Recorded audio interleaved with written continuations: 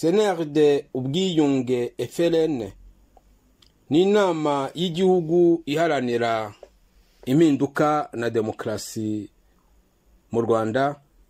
Ikaba ifite umutwe w'ingabo witwa frn intarumikwa ingabo za rubanda zo gutabara no kurengera abanyarwanda n'ibyabo.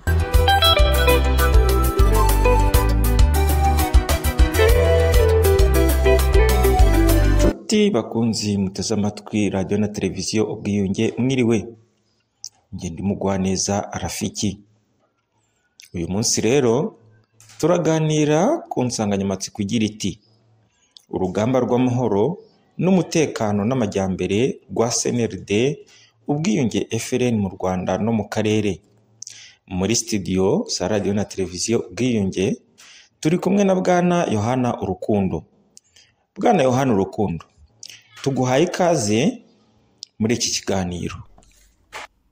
Ndagushuhuje bwana rafiki umunyamakuru wa rtv ubwiyunge. Reka mbonereho kwibutsa no kubwira abatwumva ko rtv ubwiyunge ni radiyo televiziyo ya cnrd ubwiyunge frn cnrd ubwiyunge yavutse ku itariki ya mirongo itatu na rimwe z'ukwezi kwa gatanu ibihumbi bibiri na cumi na gatandatu umutwe w'intarumikwa zayo ingabo za rubanda frn zivuka ku ya cumi z'ukwa gatandatu ibihumbi bibiri na cumi na gatandatu. Ariko kandi reka mbonereho gusuhuza abanyarwanda bose intarumikwa intwarane za cnrd ubwiyunge ndetse n'abumva ururimi rw'ikinyarwanda aho batuye hose ku isi. Ni ya nshuti yanyu. Bwana yohana ko uyu mutwe w'iki kiganiro uteye kwibaza byinshi mu karere. Urakoze bwana rafiki. Ni by'ukuri tumaze iminsi dukurikirana ibibazo biri mu karere ariko cyane cyane ibibangamiye abanyarwanda ndetse n'igihugu cyacu cy'u rwanda.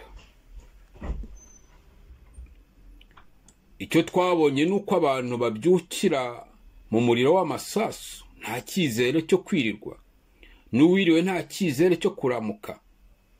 Amarira imiborogo gufata utwangushye utazi iyo ujya. Twabonye ariyo ndamutso ubwicanyi inzara indwara ibyorezo gupfusha guhamba ubupfubyi ubupfakazi gusahura umutungo w'abandi niyo mishinga twasanze mu karere. Kwirundaho ibitwaro gukomeza ibirindiro amanama agambana ayobya uburari niyo ntumbero ya y'abacakara barusahurira mu nduru. Bwana rafiki uruntu runtu hagati y'u rwanda na kongo rurakomeje kandi ni nako rufata intera. Nyuma y'amagambo ya nyakubahwa perezida kagame muri bene aho yerekanye intumbero ndetse n'umugambi umujyana muri kongo mu by'ukuri. Yerekanye ko atari fdrr yagize urwitwazo abagiye kureba. Yerekanye yuko atari kurengera abavuga ururimi rw'ikinyarwanda nubwo bataba bamutumiye. Yerekanye ko atari abatutsi bavuga avuga ko barengana muri kongo kandi amoko ya kongo abanye neza. Ahubwo agaragaza neza ko ari ubutaka n'ubutunzi bwa kongo yifuza kwigarurira. Dore ko yahindutse revisionisite w'amateka w'imipaka y'ibihugu mu karere. Ariko abanyekongo bacanye ku maso barakenyera barakomeza. Dore ko basobanukiwe ko akimuhana kazi imvura ihise. Ndabahamagarira gukazanya no kwanga kuba ingaruzwamuheto y'agatsiko ka fpr kagame kamunzwe n'ikinyoma kwica guhonyanga amateka n'amategeko uburenganzira bw'ikiremwamuntu gusahura ibya rubanda umuja wabamatse ibihugu barusahurira mu nduru. Reka nibutse yuko cnrd ubwiyunge frn yaboneyeho akaryo ko kumwamagana no kwitandukanya n'ubwo buryo bw'imikorere bugamije inyungu z'umuntu aho kwita ku nyungu z'igihugu zigamije kubaka ineza y'abanyarwanda witwaje umwanya ufite mu gihugu. Cnrd ubwiyunge frn yaboneyeho kwibutsa ko binyuranyije n'itegeko nshinga ry'u rwanda ndetse n'indahiro barahirira igihugu bafata inshingano zabo. Yaboneyeho kubasaba kuzabaga bakifasha ingaruka z'imikorere nk'iyi itaboneye idafite intumbero ku rwanda idafite icyerekezo ku banyarwanda. Ibasaba kurekura ubutegetsi kuko bigaragara ko bananiwe gukorera u rwanda n'abanyarwanda no kubaka u rwanda rutubereye twese twibonamo.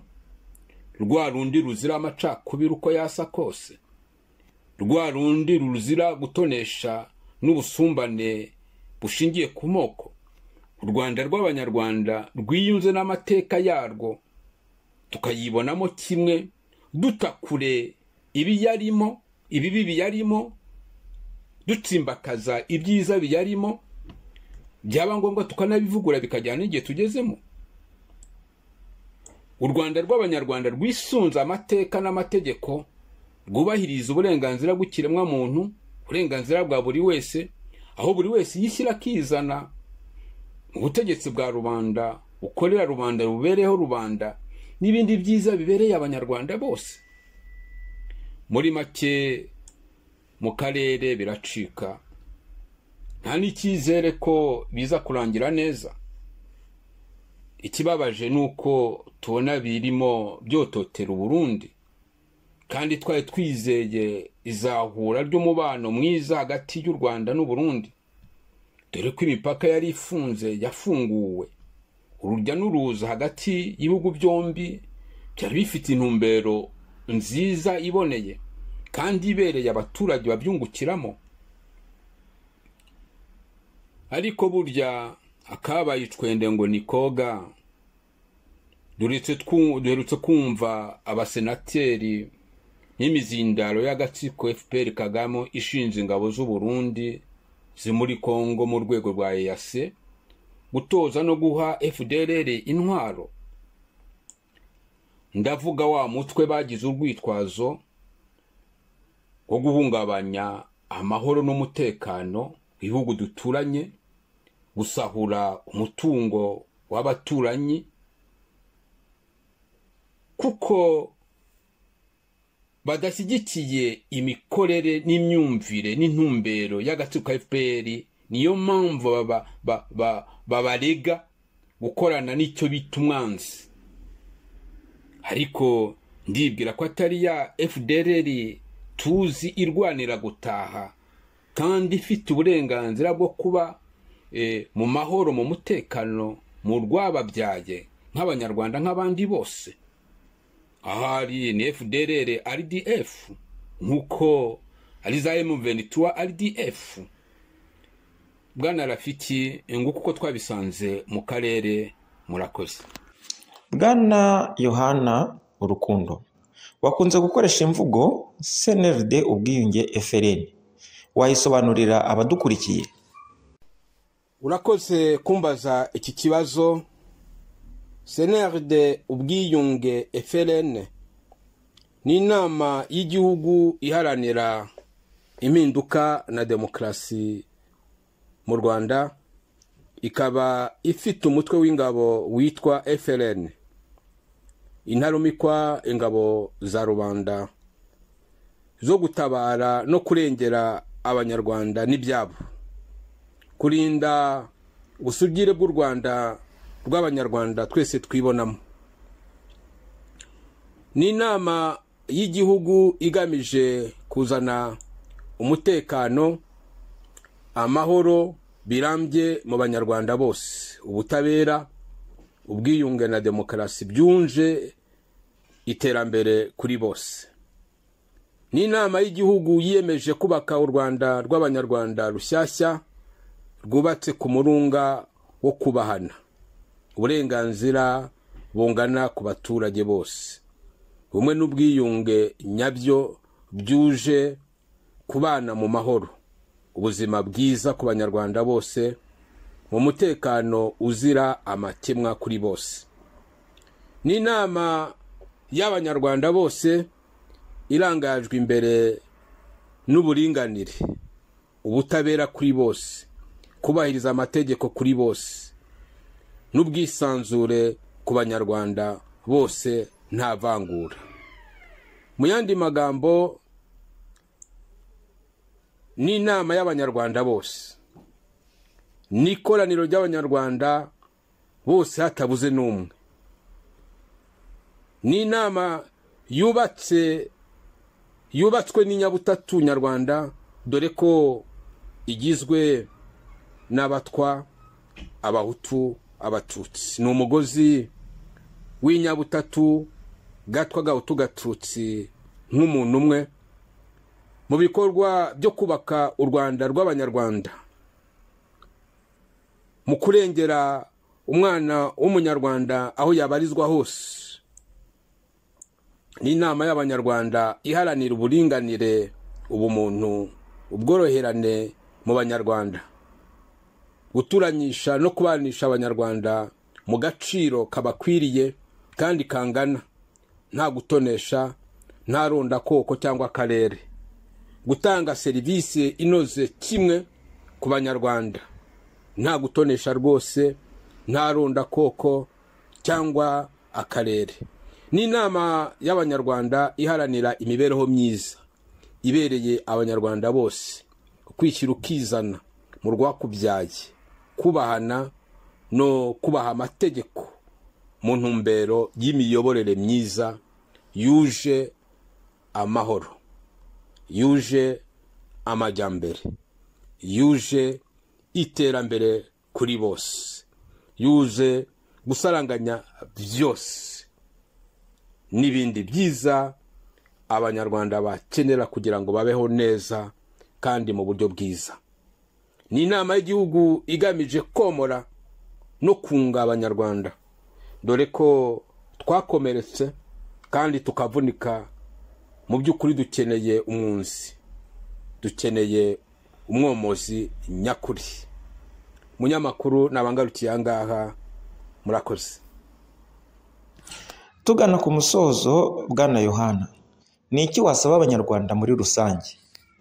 Urakoze ndahamagarira abanyarwanda bose guhaguruka nk'umuntu umwe tugasaba agatsiko ka fpr kagame kuva ku butegetsi mu maguru mashya.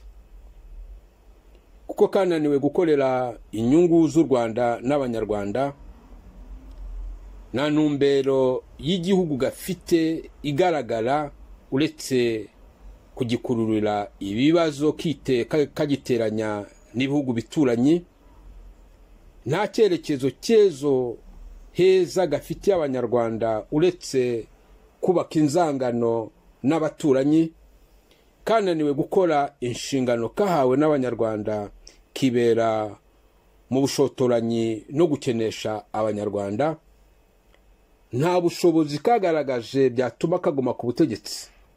Dore ko kagumye kuba ikibazo ku banyarwanda ku bw'ibikorwa by'ubushotoranyi kishyizemo. Kagumye kuba ikibazo mu karere kubera ibikorwa byo guhungabanya umutekano w'ibindi bihugu no gushaka kwigarurira ubutunzi bw'ibyo bihugu. Murakoze. Uwo yari intwarane ya cnrd ubwiyunge frn akaba n'umuyobozi wa sericom muri cnrd ubwiyunge frn mwese mwese abari bateze amatwi iki kiganiro kuri radiyo na televiziyo ubwiyunge turabashimiye. Mwari kumwe na mugwaneza rafiki naho ubutaha.